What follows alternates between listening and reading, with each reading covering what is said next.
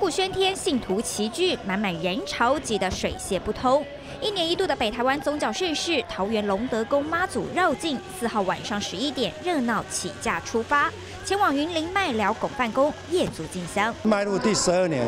那今天我们预计啊参加的人数有上万人。那今天很特别的呢，啊我们有来自啊全国的各大宫庙，有一百四十五间的董事长跟主任委员来共襄盛举。千人绕境万人祈福活动将跨越六个县市，一路从桃园徒步走到云林，全程约四百四十八公里，这也是全台湾最长的一条进香路线。今年也是龙德宫的一个重要的一年，因为今年我们即将完成这个呃建庙的开工仪式。那我想